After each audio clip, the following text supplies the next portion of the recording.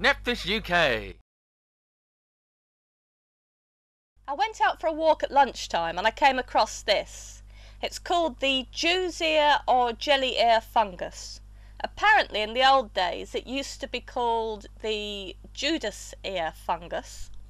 Basically, it was supposed to grow on the tree where Judas Iscariot was hanged. Now, it's quite an ugly little thing, but quite interesting. Sorry about the dodgy film work. I was um, reaching over a rabbit hole and kneeling in the mud at the time in my work clothes. Look, there's some baby ones. Aren't they cute? And up here, we have a dead one.